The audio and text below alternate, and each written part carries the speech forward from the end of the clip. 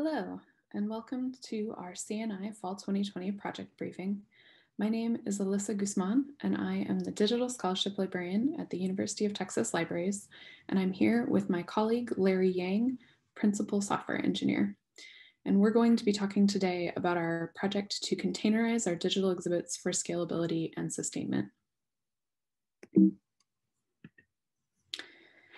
So here at the University of Texas Libraries, we have very large collections. We hold over 10 million volumes, um, as well as broad and deep primary source archival collections. So these are some examples from our architectural collections, um, early maps from the Americas from our Benson Latin American collection, um, as well as our online PCL uh, Perry Castaneda Library Maps collection.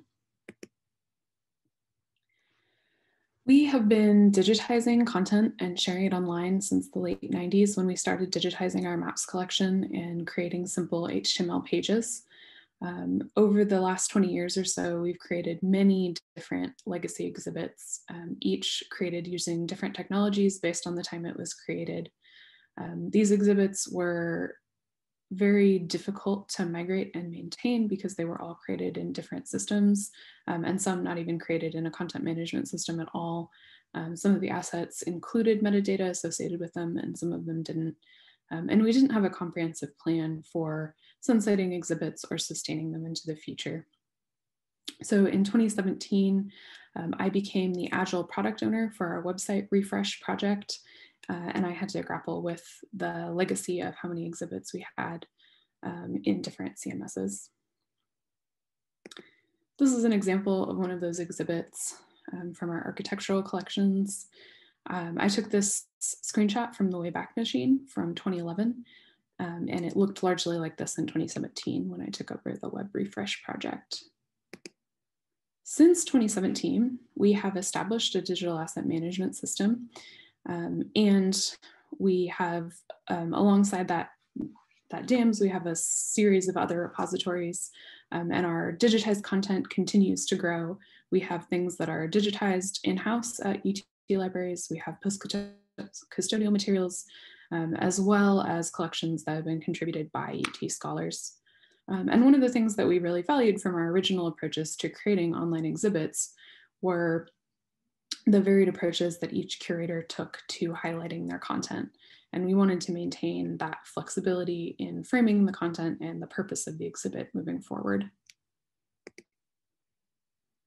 Um, in 2017, when we were beginning to establish the digital asset management system and we were undergoing the initial stages of our website redesign, we did need an interim solution for creating digital exhibits, ways to highlight small selections of content so we decided to subscribe to omeka.net um, and we created what we call collection highlights, which are small scale digital exhibits of 10 to 15 items, providing just a taste or a sampling um, of a larger collection that may or may not be digitized in full.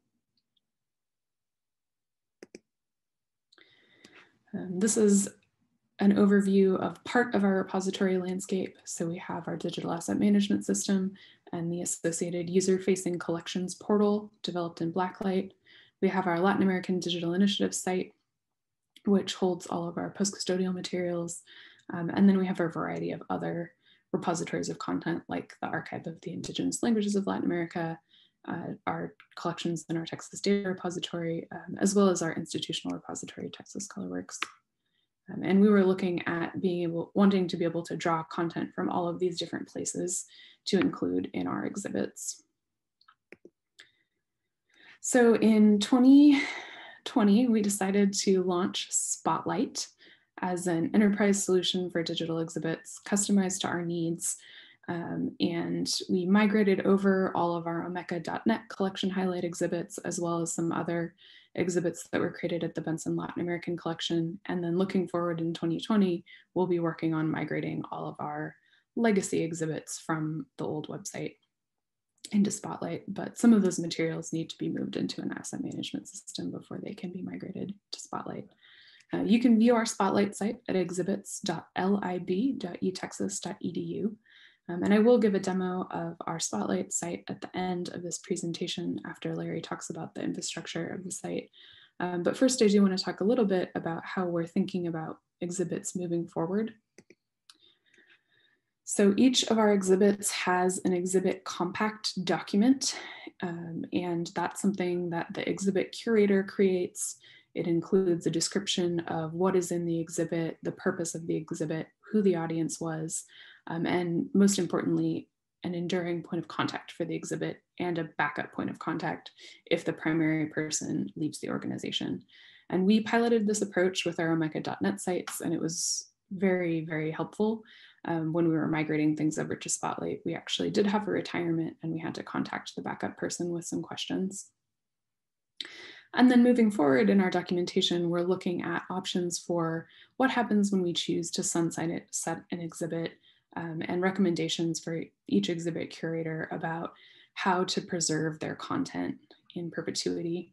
So we do recognize that the creation of these exhibits for many staff represents an act of scholarship and it's important for them to be able to um, preserve a place where they can access their work in the future and link to it from a CV or an online portfolio.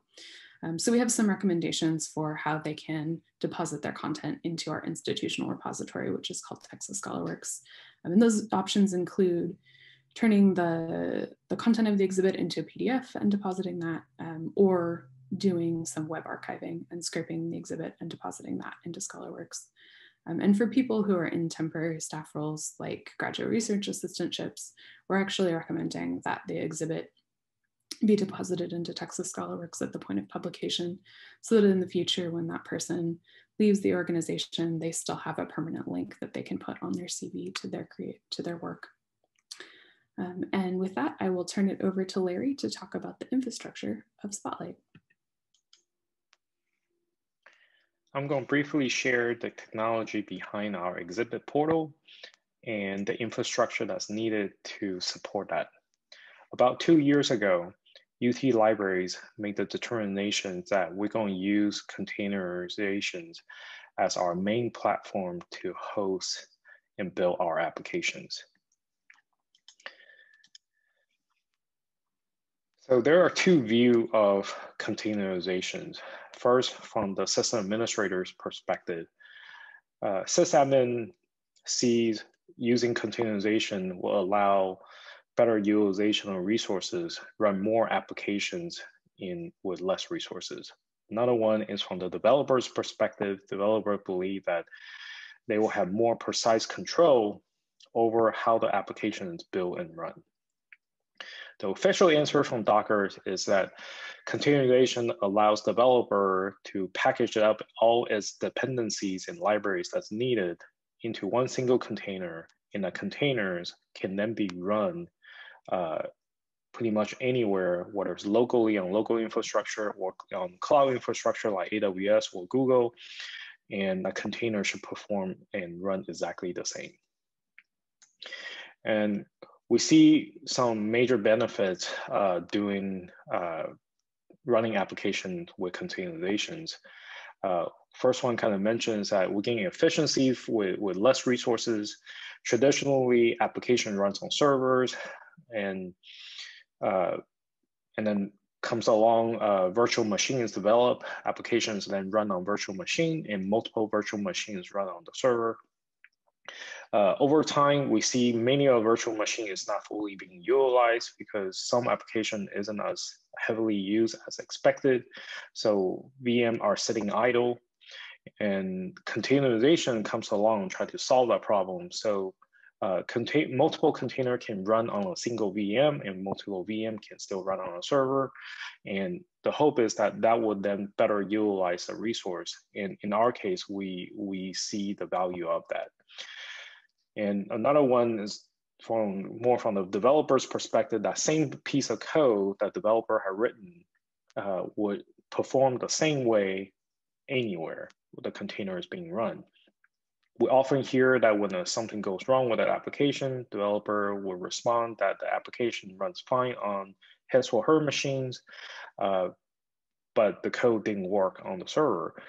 Uh, with containerization and the standard of the configuration and the control inside the container, uh, this piece of code will perform uh, the same regardless of where it's being run. So the same error that would occur on the server would have occur locally on developer's machine and it will be the same for his machine, her machine, and my machine.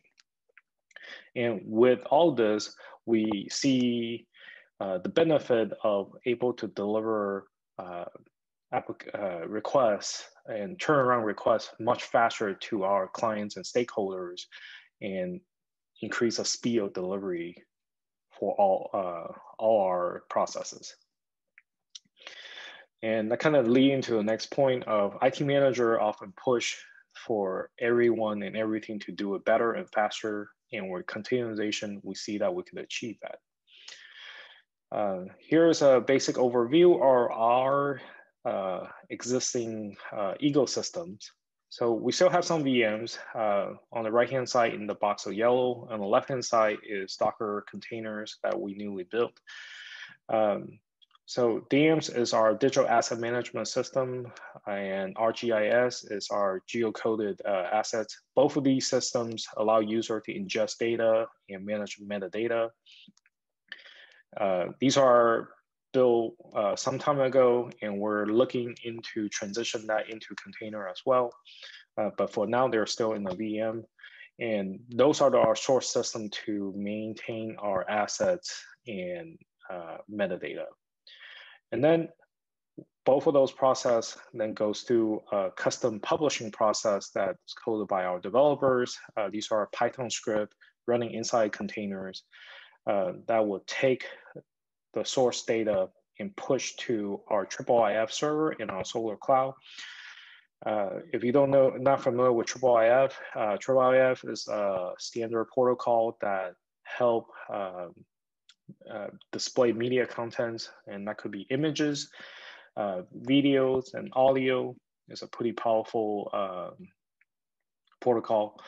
And then we use Solr for our static search, and that's where our metadata goes. And with IIIF and Solr Cloud, that then power our front end portal.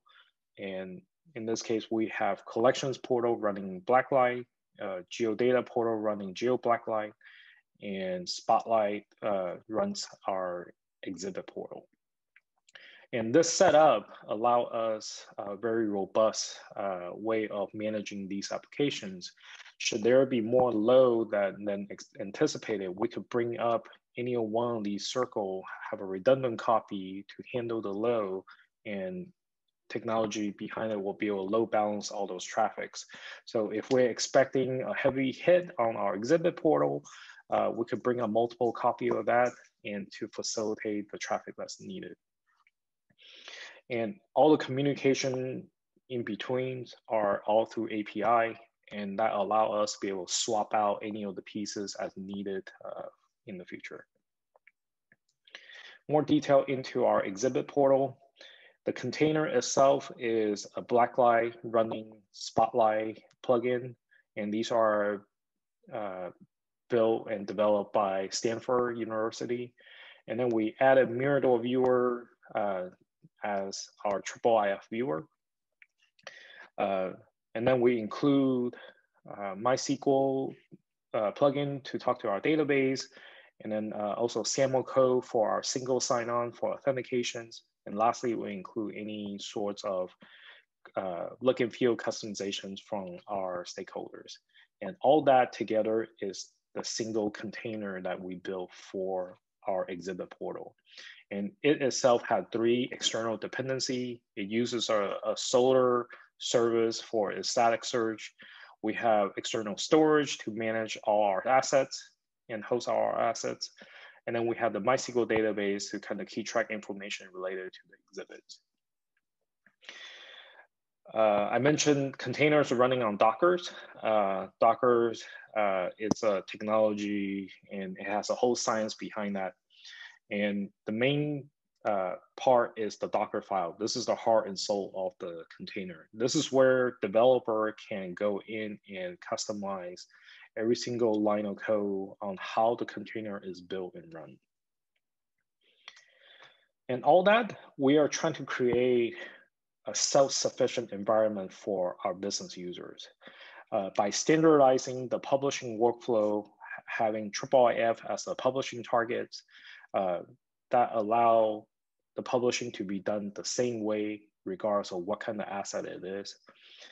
And then uh, we built everything around our Solr and our IIIF, and that allow us to send up the front-end portals independently uh, from uh, these assets. And when we bring up exhibit uh, using a spotlight containers, and that fit nicely into the existing ecosystem by utilizing all existing assets. So all that technologies and processes and workflow have the single goal of empower our librarians and curator to so they are able to create and publish uh, exhibits and collections without any sorts of IT interventions. We launched the exhibit portal at the end of August. Now, a few months later, there are over a dozen exhibit up and running in that portal. Now back to Alyssa for a demo of our exhibit portal. All right, thank you, Larry. Now I'm back to give a brief demo of our Spotlight site.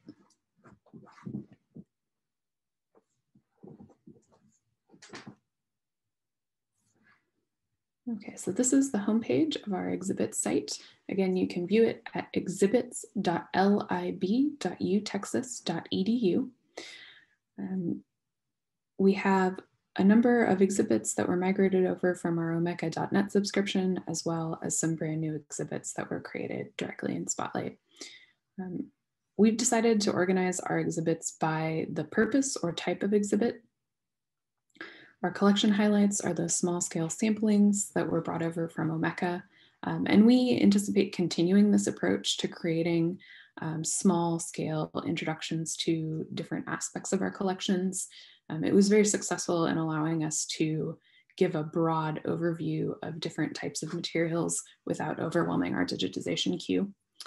Um, and then we also have exhibitions, which are broader explorations of a specific topic. Uh, and in the future, we'll add another category for teaching collections, which will be materials that have been collected together um, specifically to accompany a certain course. Okay, when you click into an exhibit, there is a homepage for each exhibit, uh, which includes content, and then you can add different items to the page using these widgets, as they're called in Spotlight. And then you can create subpages for each aspect of your content. If you click onto a particular item, you see an item detail page with the Mirador 3 viewer and all of the metadata that was imported from our collections portal um, via IIIF. Now, not all of our items were imported into Spotlight via IIIF, but this particular one was. There's also a, a browse feature with some basic sorting and faceting options.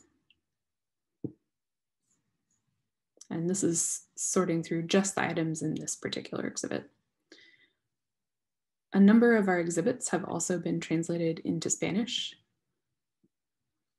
So the interface itself has been translated into Spanish, and then Spotlight has an internationalization feature that allows the curator to go in and translate the different metadata fields, and of course, all of the content of the exhibit into Spanish.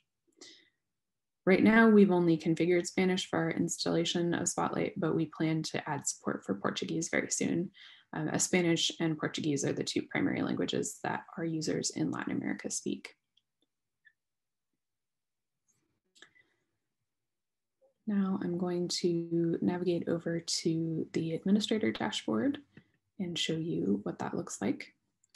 Um, so this is an unpublished demo exhibit because I would like to show you what it looks like to import an item from our collections portal. So this is the, the curator dashboard of this particular exhibit, I'm going to navigate to the items tab. So this exhibit has 30 different items in it.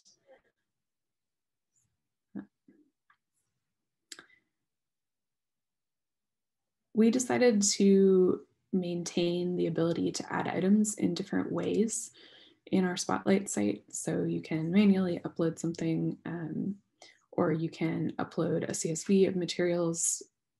Um, this is particularly important for collection materials where the entire work is under copyright, but we're choosing to share uh, maybe the cover or a single interior page under fair use. Um, and then of course, IIIF for things that have been published from our digital asset management system to our Blacklight site. So this is an example of one item from our collections portal. It's um, some sheet music. If I scroll down in the metadata, I can pull, I can grab this IIIF manifest and copy it over. And heading back over to Spotlight, I can just paste it here and add the item to our Spotlight site. Um, and it appears here. We also added the ability to delete items to our site because um, it was important for us to be able to remove something if something went wrong with the import from the CSV. Um, but we don't have the option turned on to edit any metadata within Spotlight. Um, and now the item has been removed from the Spotlight site. And lastly, I just wanted to put up our contact information if you have any further questions about our installation of Spotlight or our approach to creating digital exhibits. Thank you again so much for watching our CNI project briefing, um, and we look forward to hearing from you.